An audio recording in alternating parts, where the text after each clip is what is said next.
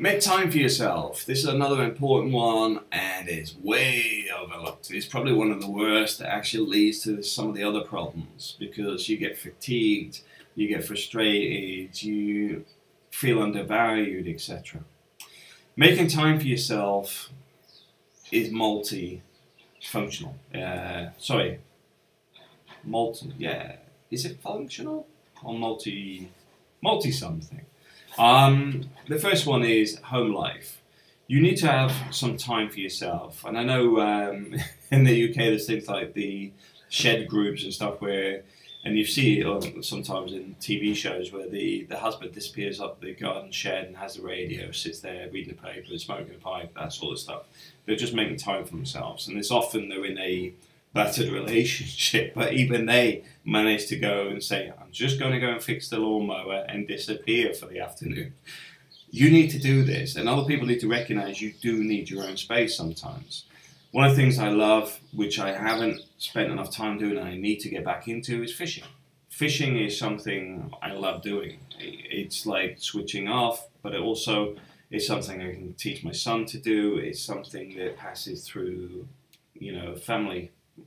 I mean, I used to go as a young boy with my father. I remember the my mother's um, cheese and tomato sandwiches, soggy sandwiches in the plastic bag you know, the little you get there and the the tomatoes going to mush it, so the the bread's all soggy. And you think I was probably about six years old when that was going on, but I remember it. I remember the fishing. There's a lot of reasons that you do this stuff because it adds these little moments, but it comes down to making time for yourself. But like that, that's father and son time. Um, but even in work, you will see people that are directors or very senior management, which are very good at making time for themselves, um, whether it be the golf course on a Wednesday or whatever. Um, but they will they will schedule in some appointment times where they've got gaps in their day to sit and do stuff for themselves. Because what they do, which they don't let you do often, is create time for themselves. Because they'll they'll do that, so they're always finished on time. But your schedule is often full nine to five plus stuff that they didn't accommodate for. Um, but if you can do it, scheduling some of that time during the week where you're sat in an office and simply getting rid of all the other tasks that need doing, but normally people bug you about. And you just turn around and say, for two hours, I'm unavailable, I'm booked in this office, whatever, I'm doing this. And, you know, I've got stuff to do. I need to tidy up all these contracts or whatever. I need that finished on off my desk, so that's what I'm doing. And the reason you do it in an office away from, say, an open office or um, wherever you're normally working is just a fixed, quiet location where people leave you alone. That's that's an important bit, being left alone to get on with it. Because I know myself, um, in an office environment, there's always somebody asking you something and it's those things that delay a lot of those things. That's why I'm quite a keen home worker because I do way more in for the same money at home than companies will get in the work environment because their work environment is often counterproductive due to the amount of stuff going on in the office.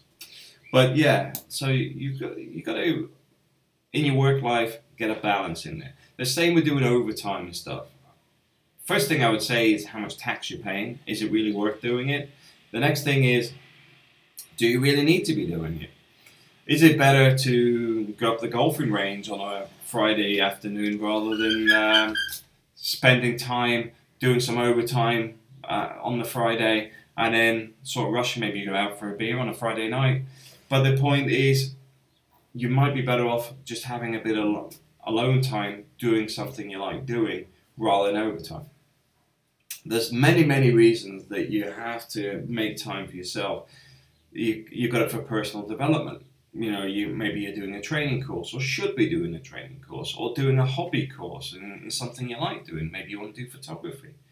But the whole point is a lot of the time we don't make time for ourselves. We make time for others.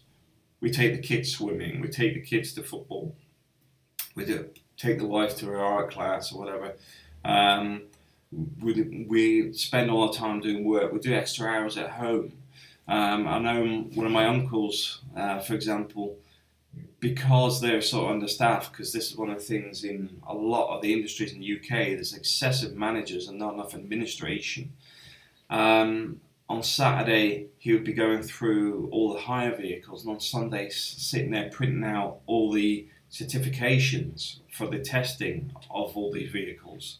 Because uh, he, he, deals with cranes, diggers, and all that sort of stuff, so there's paperwork for each one. And he did that Saturday and Sunday because Monday, Friday, he's busy in the office. He ain't got time to do that. But all this stuff has got to be ready for Monday for when the vehicles go back on hire again. So, with that, his he should have actually just said no, because in all honesty, it's not his problem. He doesn't own the company. The company will quite happily let you waste all your weekends for the next 20 years. And they're, they're not paying for it, and they don't appreciate it. Because if they did appreciate it, they would understand that you're doing this, it's a task that needs to be done as a legal requirement, but they should actually have somebody doing it in the office, um, but instead they're, they're on demand and under budget, even though it's a very profitable business. But as long as you're picking it up, they ain't going to invest in it. If anything, I, in these sort of scenarios, I treat it like they think I'm stupid. Um, this is one of the arguments I had when I was with Carillion, um, was the fact of travel time.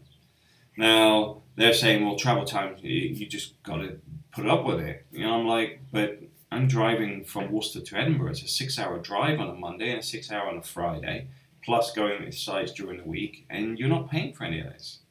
You're only paid for 37 and a half hours a week, but even just on the work tasks, you're getting 55, plus these at least 12 hours of extra travel. You're abusing this. And they're like, oh, but you've got to be flexible flexible means it's a two-way street.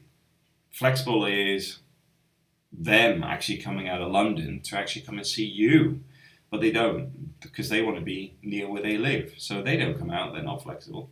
And this is the thing, you sometimes get bullied into this stuff, and I simply said, no, it's not acceptable, I'm not doing it anymore. And they adapted. They didn't like it, I'll tell you what, they did not like it, but at the same time, they should have built that into the contract. And it's not me being unflexible, is they're being abusive. They're getting nearly twice as many work hours because even though you sat in the vehicle, they're still expecting you to go from A to B. They're not paying for that. They're expecting you to be away from home extra half a week. A week. Um, so you've got to sit there and realize that your time is not only for making for yourself, but it's a valuable thing. It's for your mental health. It's important for your for your body. It's important, but also for your personal development and doing stuff that isn't work related is important because if you're not getting that bit of development and space in your life, then it's not healthy. It's as simple as that. Thanks for watching.